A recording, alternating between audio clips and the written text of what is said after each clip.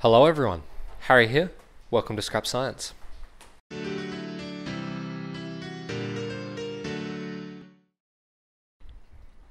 Now for a future video or a future project, I'm going to need some hydrobromic acid. Now, hydrobromic acid isn't the rarest acid. Um, it's not hard to find in proper chemistry labs, but buying it as an individual um, is a little bit tricky to do. So it is much easier for me to make hydrobromic acid from the much more easily obtainable starting material of sodium bromide. The synthesis of hydrogen bromide or hydrobromic acid is not all that difficult, um, but I thought I'd turn it into a video anyway because it's an important step in the upcoming project. What we need to do with our sodium bromide is dissolve it up in solution, react it with an acid, and then somehow get our hydrogen bromide or hydrobromic acid out of that solution. To explain what I've done, you can see we've got this solution here sitting in an ice bath. I'm going to get this out to get a proper look at it. What I've done here is I have taken 450 milliliters of water um, and then put in a bunch of sodium bromide and dissolved that all up. I've then added an acid as I was describing before. I've chosen um, sodium bisulfate as my acid to react with the sodium bromide simply because it's cheap for me to get hold of. And as a result of an acid and sodium bromide being in solution, we already have an equilibrium reaction involving the formation of hydrobromic acid. Sadly, because hydrobromic acid is a much stronger acid than the bisulfate ion, in fact, the bisulfate ion is actually right in the middle of what you'd define as a weak acid or a strong acid. This equilibrium strongly favors the left-hand side of the equation. To overcome this inherent leftwards push of this equilibrium reaction, we've chosen sodium and sulfate ions in particular because at low temperatures, particularly zero degrees, um, the temperature of my ice bath, Sodium sulfate has really quite a low solubility. We're able to take it out of solution and push that equilibrium a bit further to the right. In fact, if we get a proper look at this beaker, um, you can probably see a whole bunch of sodium sulfate crystals crystallized at the bottom there, which I can, of course, filter off.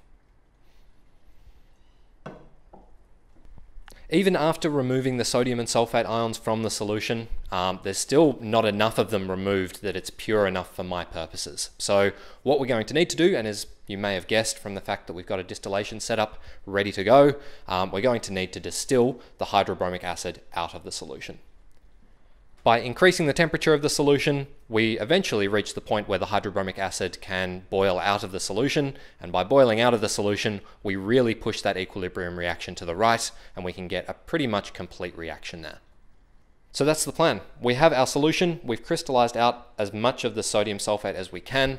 I'm going to put this solution into our distillation set, and then if everything goes according to plan, we should just be able to distill our acid out of that mixture. To get right to it, I'm going to get it all set up. And now with everything set up and our acid solution heating up, I'll give you a brief overview of what I've actually set up here. It's really nothing too fancy. We've got our heating mantle, we have a distillation set up. This is simple distillation just to get everything kind of distilled over. Additionally, I've got a gas trap over here with an inverted funnel just in case any hydrogen bromide vapors escape. This is just filled with water um, and that will absorb any of the acidic fumes. Hopefully, anyway. We've got some nice cool water attached to our condenser and if I turn on the pump, it's a bit noisy and you can't really see the water moving but um, it is flowing through that condenser there. To be honest, there's really not much to this setup, so I'm going to be quiet from now on and we're just going to watch the distillation go ahead.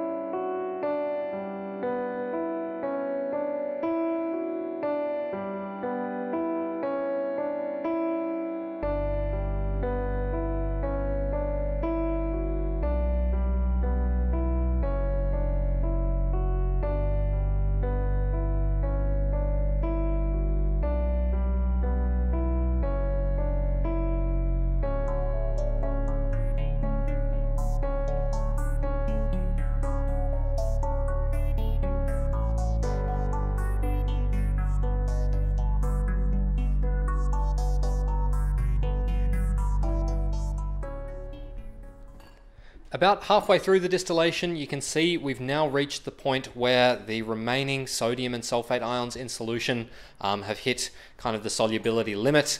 Um, what's happening right now is the sodium sulfate has crystallized out just a little bit. We're getting excessive bumping in the boiling flask, um, and I think we need to stop the distillation for now.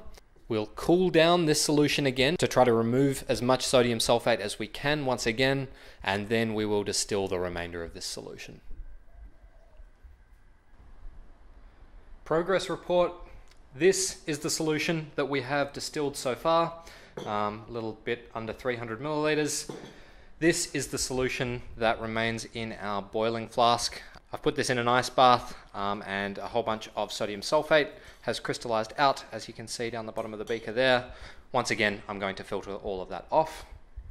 Finally, we also have this. This is all of the sodium sulfate that has crystallized out before. Bit of a hassle to do these constant um, crystallizing out the sodium sulfate and then boil the solution cycles, um, but we are making significant progress. Anyway, enough with the boring part. We have successfully um, crystallized out the next round of sodium sulfate. So I'm going to pour the rest of this solution back in the boiling flask and hopefully we will be able to distill the rest of our hydrobromic acid.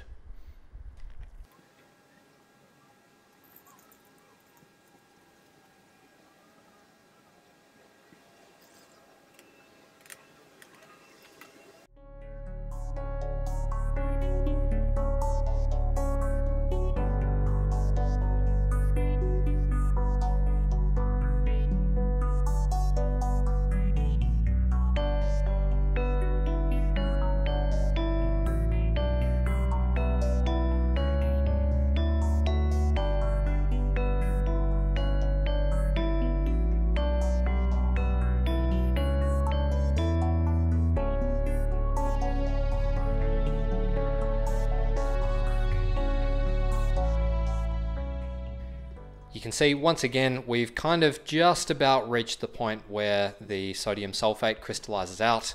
I think given what little volume we have left, I'm just going to try to push on through. I reckon we can distill this to dryness without too much of the bumping causing contamination through our system. The real worry is that if there's too much sodium sulfate left behind once we've distilled to dryness, the salt as it dries out can sometimes crack the glass as we are heating it up intensely with the heating mantle.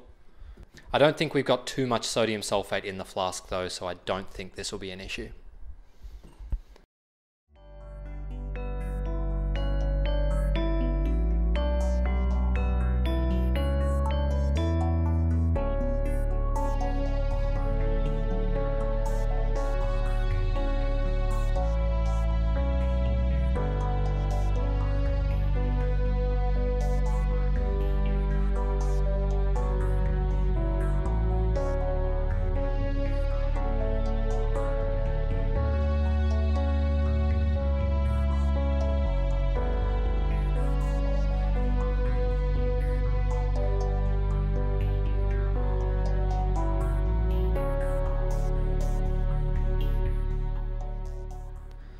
Okay, looks like time to pack it up. And after all that kerfuffle, we are left with about 500 milliliters of hydrobromic acid solution. You may be able to tell it's not particularly clean because I wasn't using perfectly clean glassware, but that doesn't really matter because the next step is going to purify our hydrobromic acid anyway. The real trouble here is that we don't actually know the concentration of hydrobromic acid in this solution here. A lot of water came over when we were doing our initial distillations. So I've got no idea exactly how much hydrobromic acid is in here and hence I don't know the yield of the reaction either. I'd like to know both of those things, so to do this, what we really need to do is separate the water, or as much water as we possibly can, out of our hydrobromic acid solution. We are somewhat limited by the fact that hydrobromic acid has an azeotrope with water, but if we can separate this solution into water and azeotropic hydrobromic acid, um, then we can actually measure how much hydrobromic acid we've got and how much we can work with.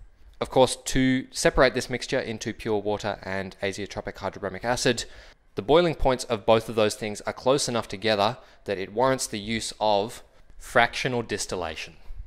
I have never done a fractional distillation in my life. In my chemistry education, I've only ever done simple distillations. Um, fractional distillations, I assume, were just too long of an experiment to do within the allocated time slots that lab work could be done. So this is going to be a new experience for me. Um, we will see how it goes. Fractional distillation, of course, isn't all that different to regular distillation. Um, the only real difference is we have this fractionating column in our distillation setup. What this does is it's kind of just dead space above the boiling flask with a relatively high amount of surface area on the walls of the glass. This encourages the vapor and the liquid to get in proper equilibrium as they rise through the column at any given temperature. Look, there are better explanations out there. Um, you should go and look them up if you are not already aware of fractional distillation. Basically, all we've got to do is take our solution that is a mixture of water and hydrobromic acid. Um, we will distill it via fractional distillation. Water will come off first at the boiling point of water, that's 100 degrees, and then hydrobromic acid will come off at around 124 degrees, I think. We don't have much fractionating length here. Um, I'm not expecting perfect separation between water and azeotropic hydrobromic acid um, but hopefully we get something better than what we've got right now. Anyway, I'm sure this will be fun, so let's get started.